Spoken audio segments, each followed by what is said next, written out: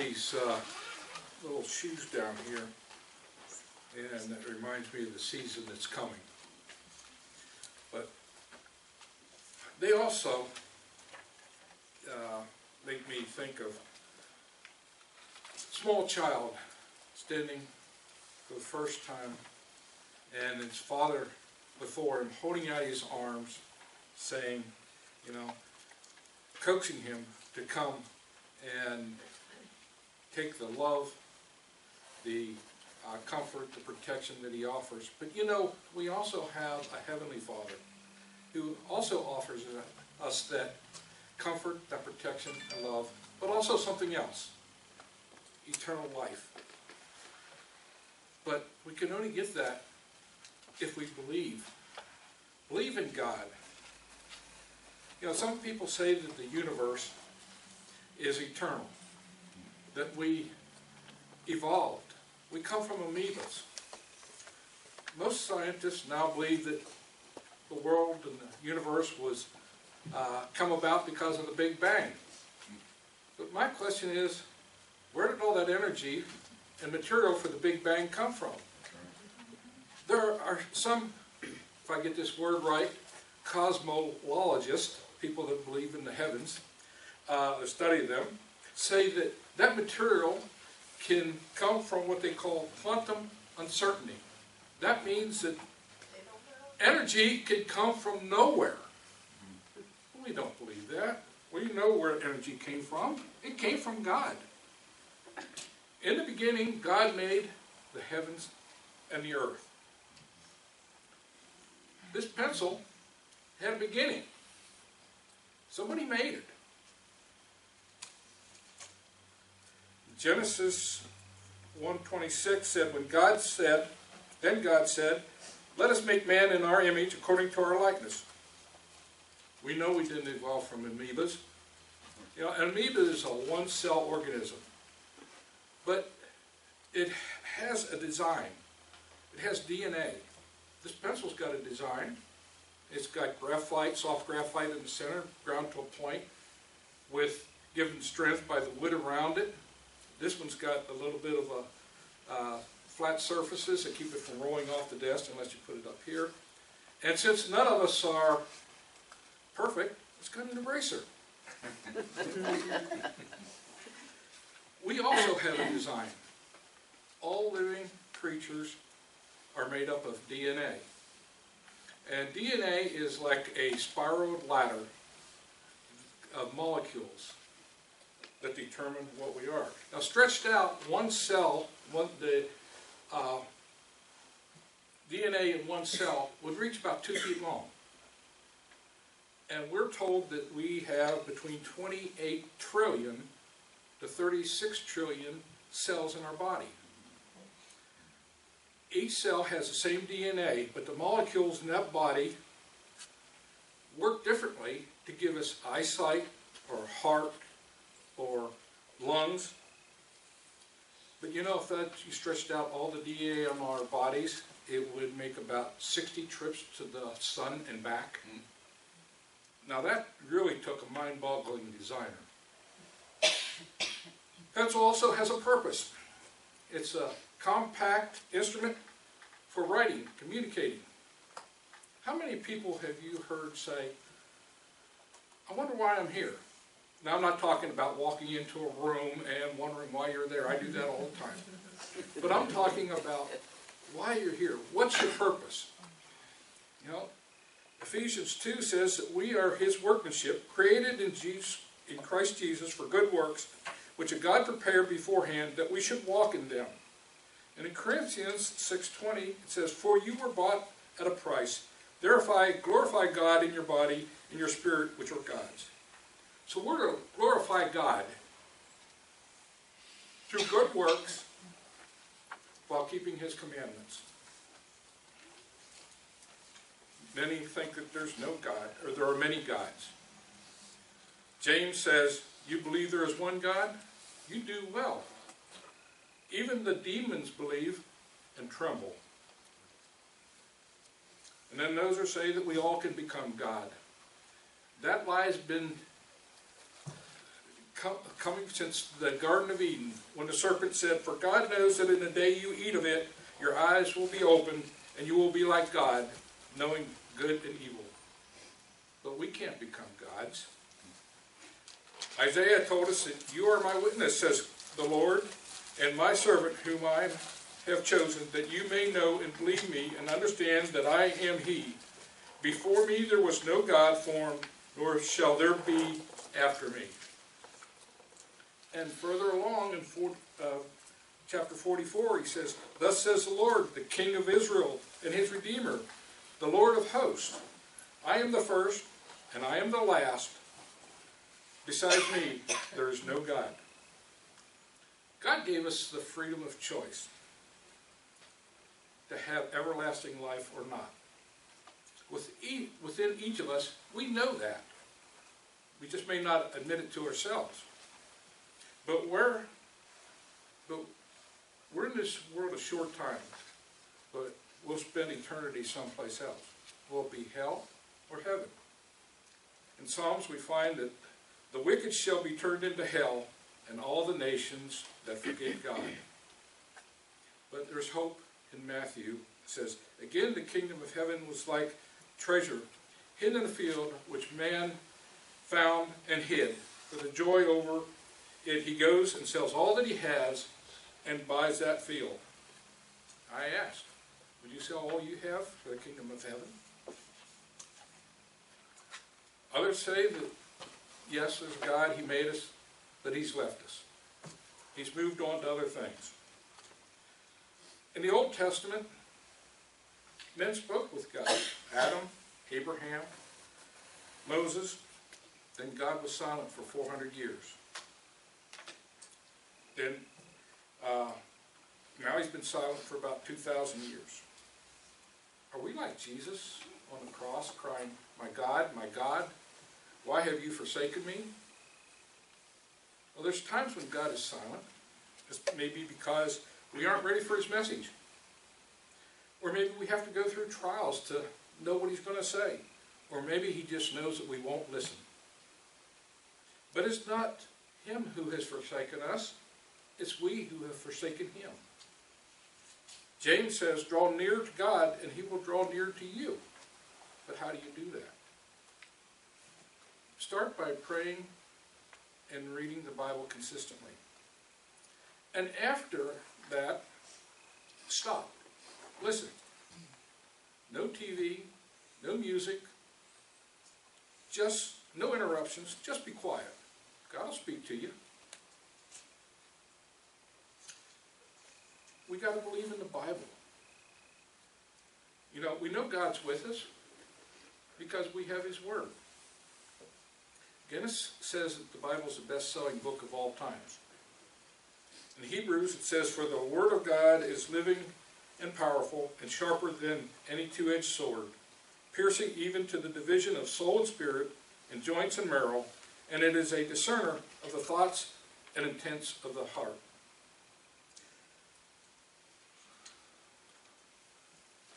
Bible, the Word of God, is a measuring stick, which Jesus is going to use at the judgment.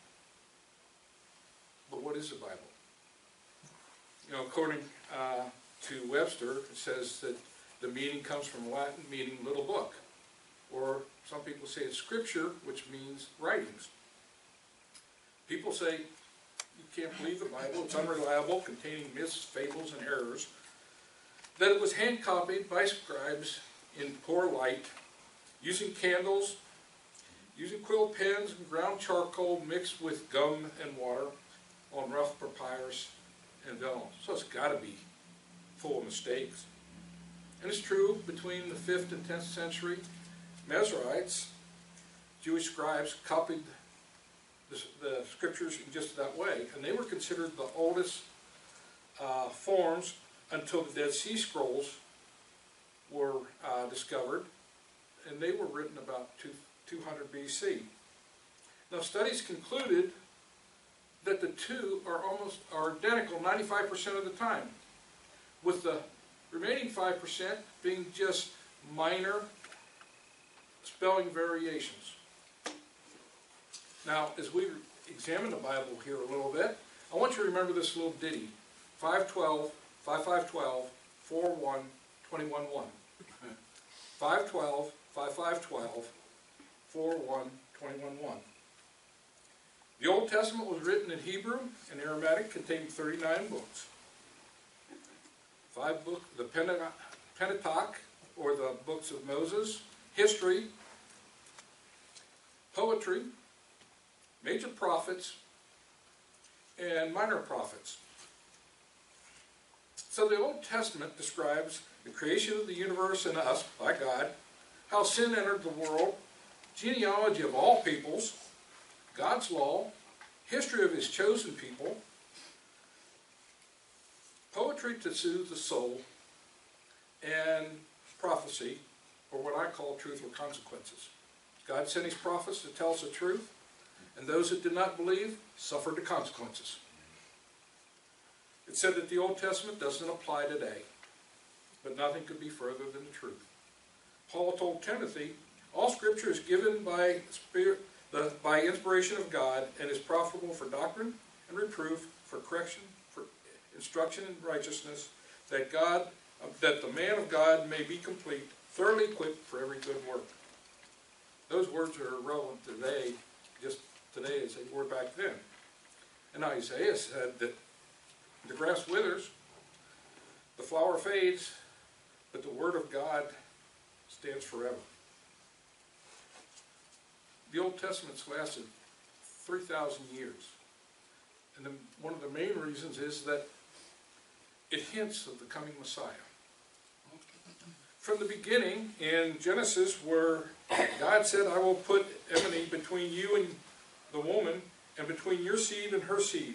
He shall bruise your head, and you shall bruise his heel. All the way to Malachi, it said, Behold, I send my messenger, and he will prepare the way before me, and the Lord whom you seek will suddenly come to his temple, even the messenger of the convent, in whom you delight. Behold, he is coming, says the Lord of hosts. But what about the New Testament? 27 books, 4 1, 21 1. Four Gospels, the history in Acts, 21 letters, and one book of prophecy. The Bible, the New Testament was written approximately 35 to 65 years after the death of Jesus. But more importantly, the four Gospels are eyewitness accounts of Jesus' life. From Matthew, who left a lucrative job to follow Jesus, Mark, who wrote the testimony of Peter, Luke, personal, was Paul's personal physician, whose written and oral sources were gathered from eyewitness accounts and from Apostle John. Acts tells of the beginning of the church, its persecution, as it was then and as it is now. There's thir 13 letters. 13 are attributed to Paul, a Christian persecuting Pharisee who had his own supernatural experience with our Savior. Two by Jesus' brothers, James and Jude, and five by the apostles, Peter and John. Now the author of uh, the book of Hebrews is highly debated, but a lot of people contributed to Paul also. Revelation of Jesus Christ is prophecy telling us of the things that will happen at the end of the world. It's the only book of the Bible that hasn't taken place. But it will, as all other uh, prophecy of the Bible has. Peter says, knowing this first, that the, no prophecy of Scripture is of any private interpretation, for prophecy never came by the will of man, but holy men of God spoke as they were moved by the Holy Spirit. The best news of all is that we know that it also foretells the second coming of our Savior, Jesus Christ, one who you must believe. There's no denying that Jesus lived because there's many documents that attest to him outside the Bible. Josephus, a Jewish historian, wrote, At this time there was a wise man who was called Jesus. His conduct was good, and he was known to be virtuous. And many people from the, among the Jews and the other nations became his disciples. Pilate sentenced him to be crucified and die. But those who become his disciples did not abandon his discipleship. They reported that he appeared to them three days after his crucifixion, and that he was alive. And then Tacitus, who was a Roman historian, affirmed numerous details about Jesus' life, including his history, his death under Pontius Pilate, and, his, and the persecution of his disciples. Furthermore, by describing the mischievous superstition, he may have been uh, thinking of the uh, resurrection.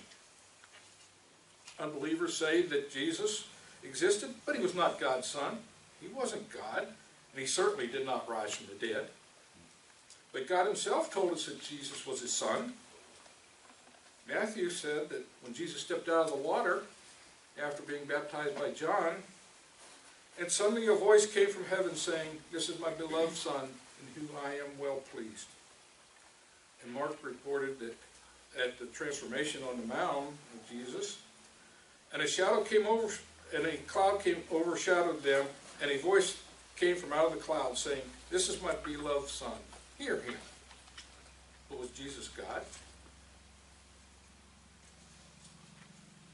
He never really said he was God. But he did say, I and my Father are one, and I am equal with the Father. He also said that he had the authority to judge nations and to forgive sins. Things only God can do. He said he had the power to answer prayers and that he will be with his followers forever. Now, claiming something doesn't make it true, but Jesus did a lot uh, including fulfilling prophecy, performing miracles, which defied the laws of nature. Some of the miracles that Jesus did was turn water into wine. He healed the sick, the deaf and dumb, the blind and crippled, cured leprosy, drove out demons, provided miraculous fish catches. I need to go fishing with him. Uh, he raised the dead, walked on water, calmed the stormy seas, twice fed thousands with a few fish, produced a temple tax out of a fish's mouth, and withered a fish tree. But you know, the greatest miracle of all was that he willingly went to the cross, shed his blood, and died for a sinner like me. Amen. Timothy uh, 3.16 says that without controversy, great is the mystery of godliness. God was manifested in the flesh, justified in the spirit, seen by angels, preached among the Gentiles, believed on in the world, received up in the glory. In Hebrews 4.15 we find that he was tempted as we are, but yet he lived a sinless life. However, the ultimate proof to his divinity was his resurrection. This was witnessed by 500 people over 40 days. Paul said in Corinthians 15, For I delivered unto you first of all that which I also received, that Christ died for our sins according to the Scriptures, and that he was buried, and that he rose again on the third day, according to the Scriptures, and that he was seen of Cephas, then of the twelve. After that he was seen by over 500 brethren at once of whom the greater part remain unto this present, but some have fallen asleep. After that he was seen by James, then by the, all the apostles, and last of all he was seen of me also, as one of the as one born out of due time. Jesus is the one that gives eternal life. He told Thomas, I am the way, the truth, and the life. No one comes to the Father through me. We must believe in the Holy Spirit before Jesus died, he told us that the Holy Spirit would come. John 14, 26 says, But the Comforter, which is the Holy Ghost, whom the Father will send in my name, he shall teach you all things, and bring all things to your remembrance, whatever I have said unto you. A few years ago, I was about 12 to 14, A few decades ago. no, just a few years ago. I, I attended a church service uh, And at the end of the service, they gave the invitation to come forward. And this lady came up to me and asked me if I wanted to accept Jesus as my Savior. Well, I got the feeling that she was not, gi- not going to give in until I did. So I thought, I'm just going to go through the motions. So I went forward and I knelt down. And as I did, I knew that I wanted Jesus to be my Savior. And I prayed to him. And at that very instant, a warm shiver went through my entire body, from head to toe. I didn't know what was going on. It scared the devil out of me. I've never been the same. But, you know, my life was changed from that time on. That first step to, step to comfort, protection, and love, and eternal life that God offers can only be taken if we firmly believe in Him, His Word, and His Son Jesus as our Savior. Let us pray. Lord God, you are our Heavenly Father, and we are your children. You make us to, and provide for us in every way. You shower us with your grace and are merciful to us. You love us so much, you sent your only begotten Son to us that he might die as a perfect sacrifice for and for the forgiveness of our sins. For this we give you all the glory. In the name of our Savior Jesus, we pray. Amen. If you truly believe that eternal life God offers can only be had by accepting Jesus as Savior, and you have not done so, I invite you to come forward as we sing 312 softly and tenderly.